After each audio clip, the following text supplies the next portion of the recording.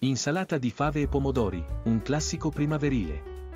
L'insalata di fave e pomodori è un classico primaverile che unisce sapore e leggerezza. Le fave, ricche di vitamine e minerali, insieme ai pomodori, ricchi di antiossidanti, rendono questo piatto una scelta sana e gustosa.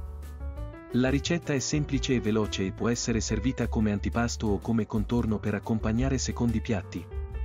300 g di fave sbucciate, 2 pomodori maturi, un cucchiaio di olio extravergine di oliva, un cucchiaio di aceto di mele, timo fresco, sale e pepe cubi, in una pentola, far bollire le fave sbucciate per 10 minuti o fino a quando non diventano morbide. Scolarle e lasciarle raffreddare.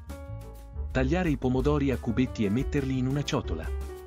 Aggiungere le fave raffreddate, l'olio extravergine di oliva, l'aceto di mele, il timo fresco, sale e pepe. Mescolare bene e servire l'insalata di fave e pomodori.